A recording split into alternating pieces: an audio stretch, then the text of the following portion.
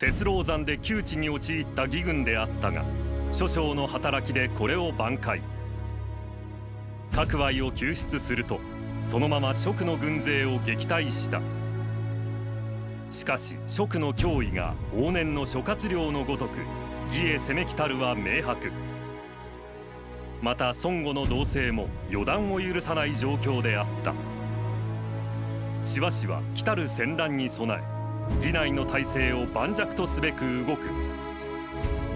軍及び宮廷内で己の障害となるものを次々に処断。果てには義帝双方を廃位新たに僧帽を帝の座に据えた。このしばしの急進的な動きに対し反しばし勢力が団結。年が明けて早々環球圏文金らを中心に受春の地で決起した。だがこれこそ葬儀のうちを粛清し愚かなる者を一掃する好機。しばしは当該家中各愛と共に自らその鎮圧に赴いた。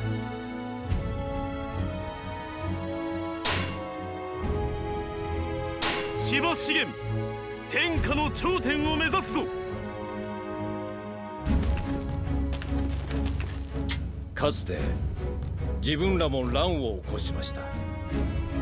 しかしそれは朽ちかけた義を改めるため。己の保身のために乱を起こすとは武人として情けない限りです。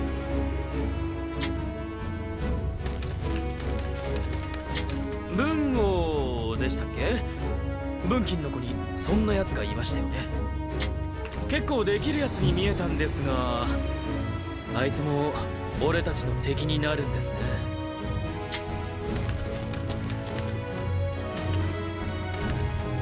しばし殿のやり方はいささか急進的。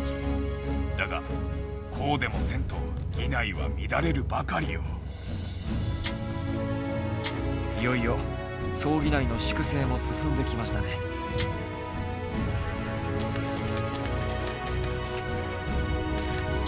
各愛殿を見ると命を大切にしたくなります。本当鉄狼山でご無事でよかったです。阪急圏文金共に歴戦の死それがこのような乱を起こすとは。いやならばこそ古い功にすがり今を生きられないのでしょう。かし惜しむべきは文金の子です。彼は武人として大成したでしょうに。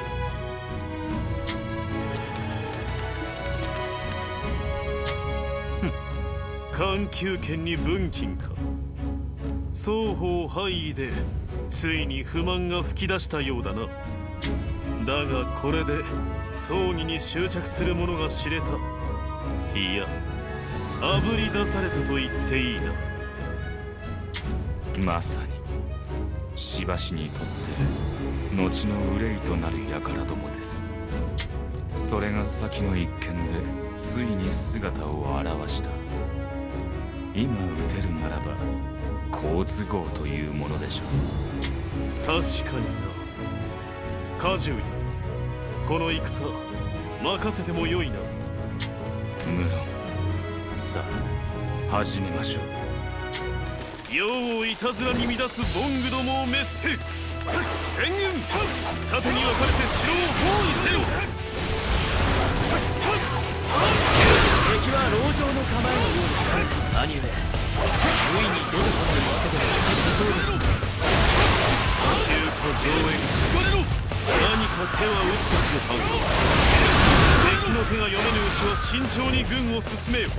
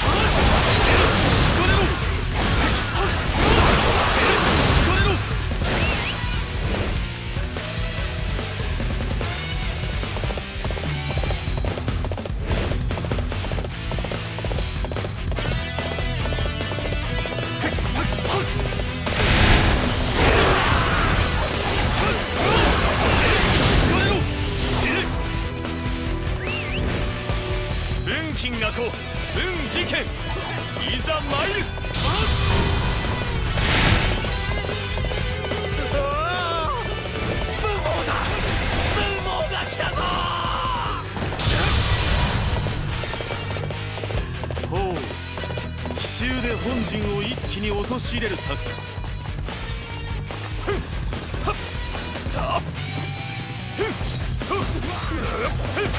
文金がこ文事件。押して参る。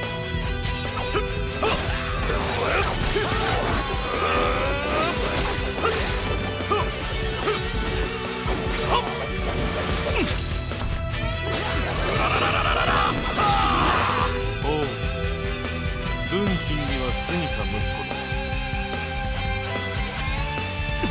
に追撃します。待て。文。武あの者はいい。文金の包囲を固めよ愚か者を締め上げるぞ。はっ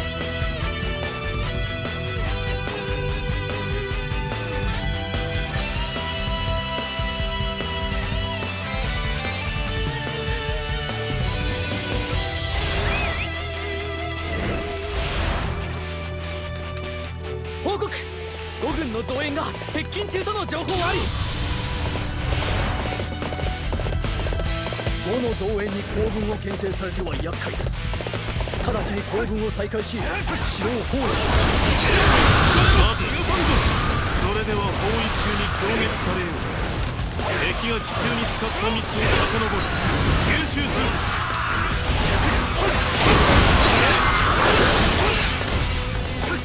我らは五軍の増援に備えとどまろう。四条文金らの吸収に回ってくれ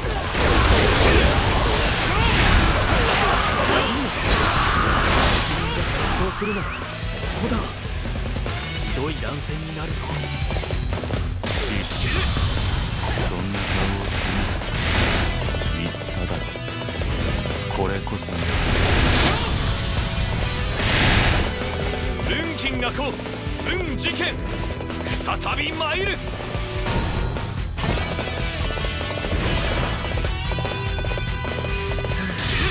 また奇襲か。めんどくせえ。あ倒して本陣を守るしかないか。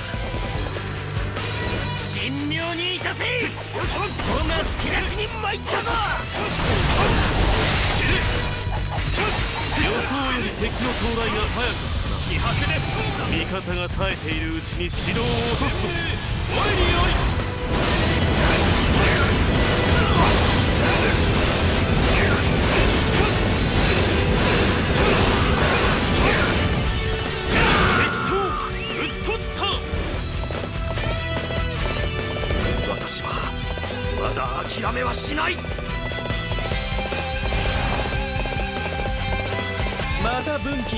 こでしたね。元気だなあの愚直さ。文金とは正反対の性質だ。な父の強量さを知れば容易に離反しよう皆動揺するな。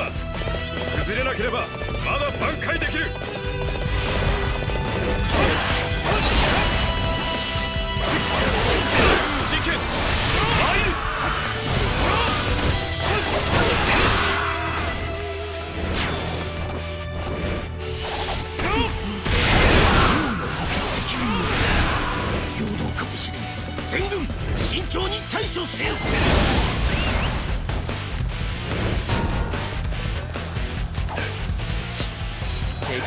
が集結固めたみたいだ奇襲はやめて両者で会場を狙うしかないか手中に我らこの力見せつけるのだ一人でのこのこ現れるとは。戦しても遅いぞ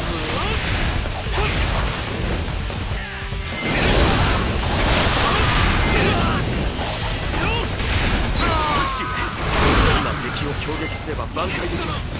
どうか私を出撃させてください。ならん。最後の切り札など。おとなしくしておその時なのです。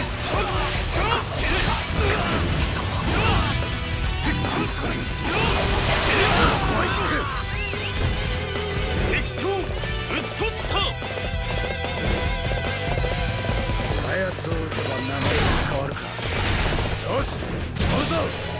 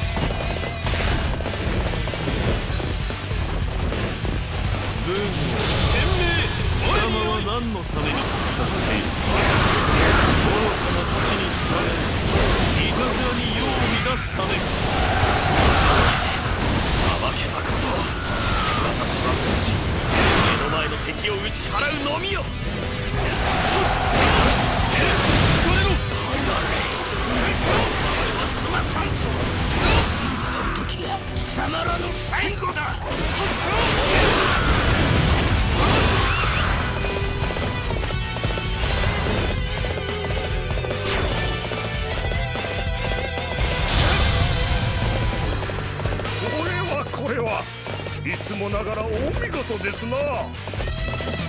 城内の将兵に次ぐ。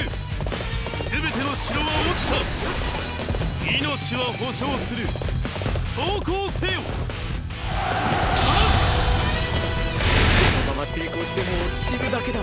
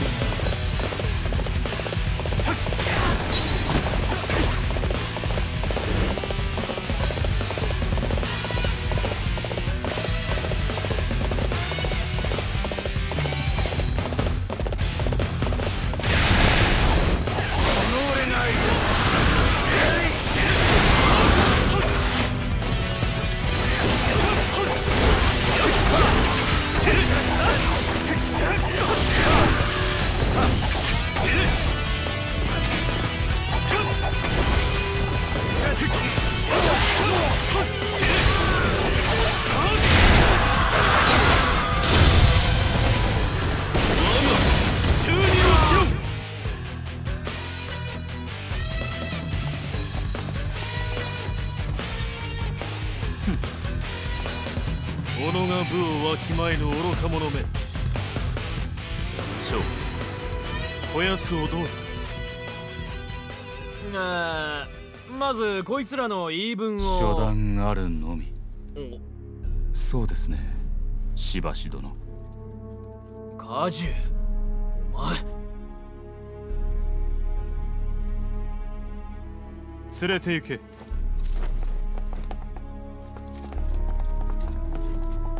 子女上に立つ者は決断しなければならない。時に苛烈でも非常でもだ。進む道を見据え考え答えを出せ。のらりくらりしていられる時間はもうお前にはない。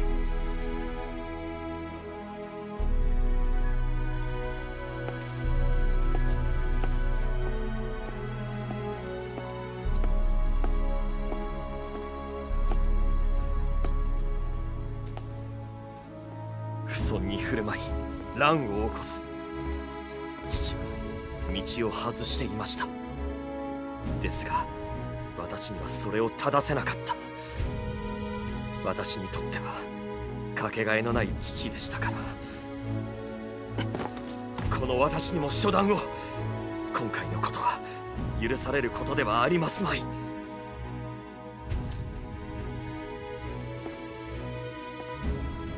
お前は自分でそれが分かったんだろ？なら命を投げ出そうとするな。俺たちと一緒に来ればいい。